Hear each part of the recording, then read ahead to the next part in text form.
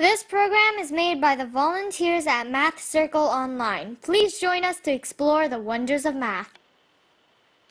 Hi, I'm Oliver Jiang, and today I'll be showing you how to solve the 2014 AMC 8 problem number 20.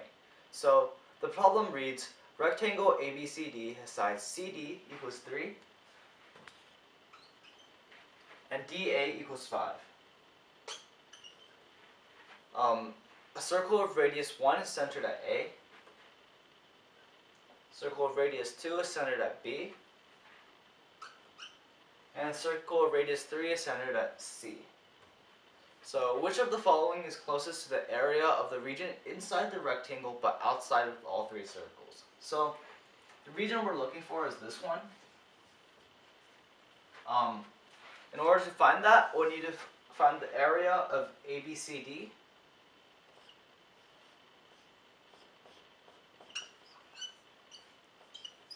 And then subtract from it the areas of quarter circle A, quarter circle B, and quarter circle C. So, um, because we're going to be calculating the areas of regions of circles, we're going to need to use pi. However, since all of the answer choices are in decimal form, we're probably going to need to use an approximation of pi. So um, the most commonly used are 3.14 or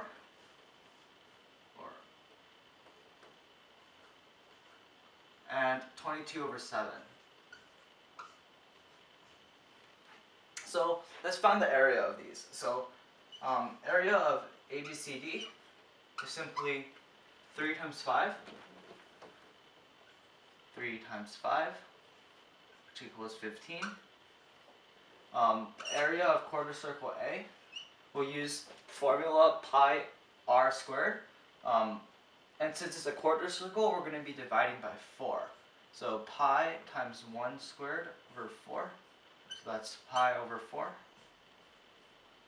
Um, we'll do the same for quarter circle B and C. So that's pi times 2 squared over 4. So that equals pi. And then C.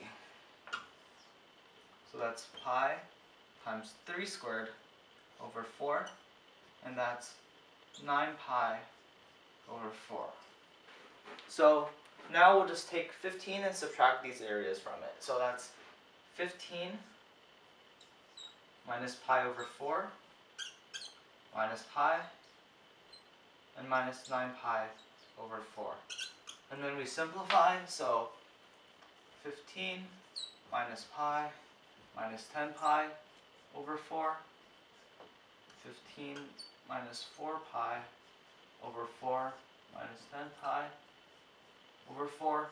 So 15 minus 14 pi over 4, 15 minus 7 pi over 2. So now we need to use one of these approximations. So noticing that there's a 7 in the numerator here and a 7 in the denominator here, it would be very convenient if we use this one because the 7s will cancel out. Um, so we'll plug that in.